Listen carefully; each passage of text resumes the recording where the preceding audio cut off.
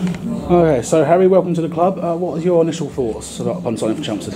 Oh, I, I, can't wait. I really can't wait. I think it's a great opportunity for me to play some games. I've already met the lads and that, and they're a really good group of lads, and uh, yeah, just obviously quite high on the table. So hopefully we can go through go through the playoffs and do really well.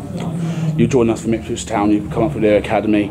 Um, do you think you got a good pedigree of your dad being Richard Wright? Yeah, definitely. I think it helps me out a lot. It's, it's in the genes anyway, but but I'm trying to make a name for myself and do it through myself and just do what I want to do and just keep improving on my goalkeeping. Right.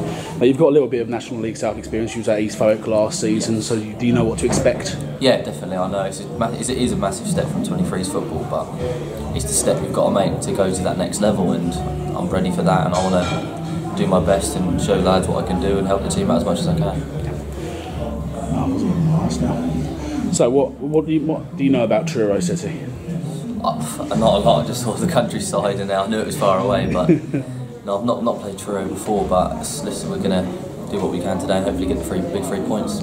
And as Rod would say, we've got eight cup finals left. We've got some big games coming up with Woking, Welling, Torquay again next week. We have a fun trip to. Um, do you think we can we can get maximum points out? Oh, 100 percent. From what I've heard from the lads, I've not seen them train or play yet, but what, from what I've heard, a great great team, great bunch of lads. And um, yeah, I just really think we can go all out and win all the points.